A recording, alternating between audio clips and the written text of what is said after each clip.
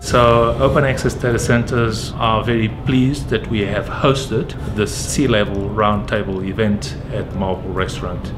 The Open Access Data Center offering from the WIOCC Group of companies, as the name implies, being open access, covers a multitude of industry segments, hence the reason why we were aiming to have the diversity of industries that were present in today's roundtable. So we had people from a pharmaceutical industry, from the motor industry, banking, insurance, and even government. So it touched on a number of topics that are of major concern to these industries because every single industry has their own unique requirements, their own unique set of issues that need to be addressed.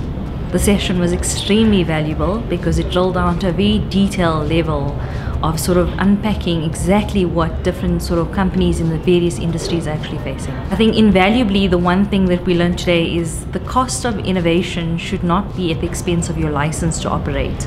And that was something quite critical that as a business, as you sort of strategize to innovate and move forward through your customer value proposition, you should not lose sight of your core license to operate. The topic was really looking at the trends, risks, challenges and really where we're moving towards because it's moving very quickly.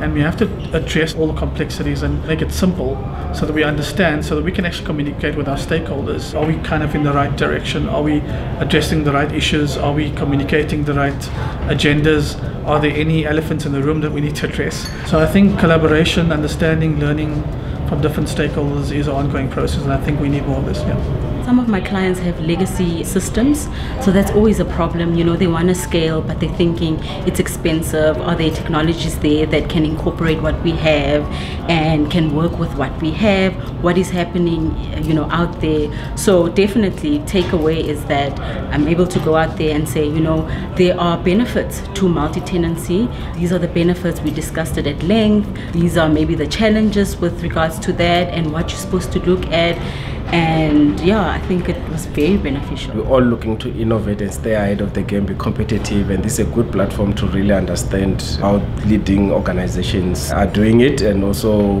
what are the industry dynamics from trends that are also specific to our market. Because sometimes you read a lot of these trends they can come across as generic and global but when we sit in a roundtable like this you get the real meat of the friend next door. So definitely i'm looking forward to more of this in the future we thought it would be pretty guarded and people wouldn't speak about what their challenges are in the industry. And what was really interesting is that people shared their journeys and their experiences. Do you co-locate? Do you have your systems on-prem or do you migrate to the cloud? Everyone is along some path in their journey by simply having people, I don't want to say drop their guard, but it is. A roundtable is exactly that. You don't want to be at an expo where there are hundreds of other competitors and people in the industry. It's intimate. I think everyone here left knowing there's another option out there, there's an alternative out there, and that there are opportunities outside of your on-prem or cloud journey.